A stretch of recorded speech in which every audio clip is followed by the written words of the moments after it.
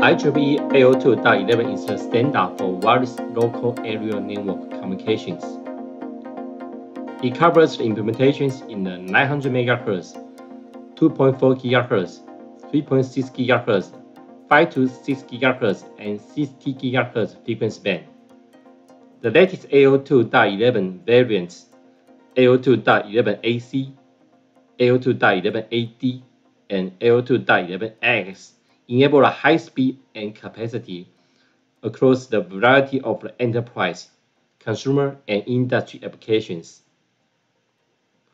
While in early research, the development stage, the next generation Wi-Fi standard, 802.11be EHT, extremely high throughput Wi-Fi holds the great promises.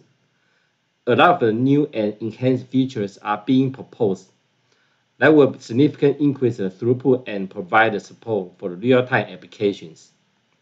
First, support the 320 MHz transmission bandwidth, double the peak throughput versus 160 MHz bandwidth in 802.11ax.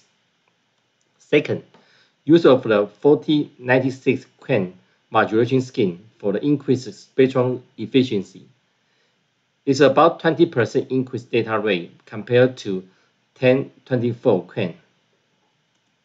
Third, enhance the OFDMA. They allow the, to assign multiple resource units to a single station. Last,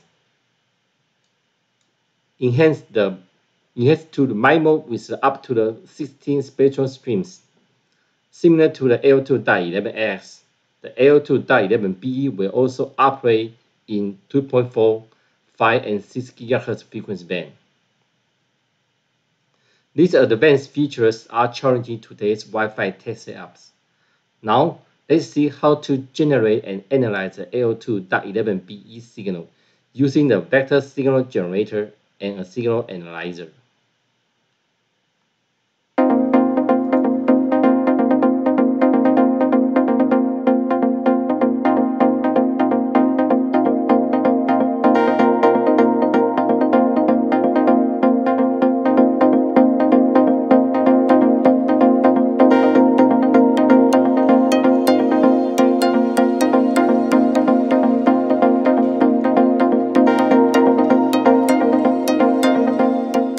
First, launch the PathWave signal generation software for 802.11 Wi-Fi and select 802.11be and go to waveform setup and we change the bandwidth to 320 MHz and signal configuration. Okay, we can adjust modulation coding scheme MCS. Now it's 10 we change to 9 first. It's a 256 QAM modulations.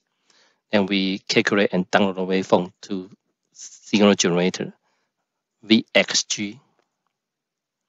Okay, it's download the waveform. Okay, finish. So we can check the waveform file L2DAP11BE, sampling rate, scaling. All right, let's move to the VSA to analyze the signals.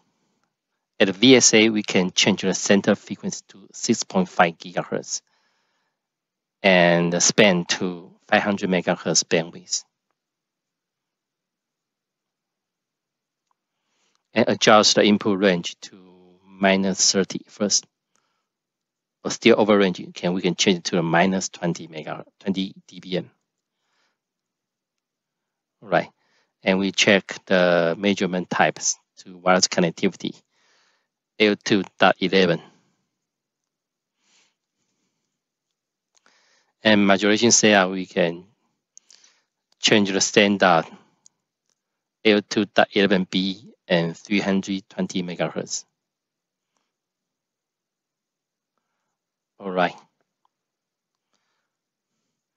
And we can check the constellation diagram. 256 QAM and adjust the layout to 2 by 3 and adjust the input range to get the best EVM result. Okay, now it's a minus 24 dBm. All right. We go back to the signal generation software.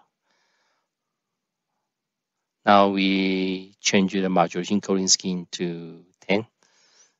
That's a 1024 QAM.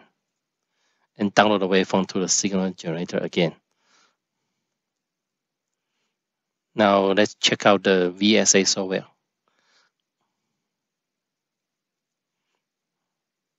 Yep, it's a 1024 QAM modulations. That's a quick demo for 802.11be signal generation and signal analysis.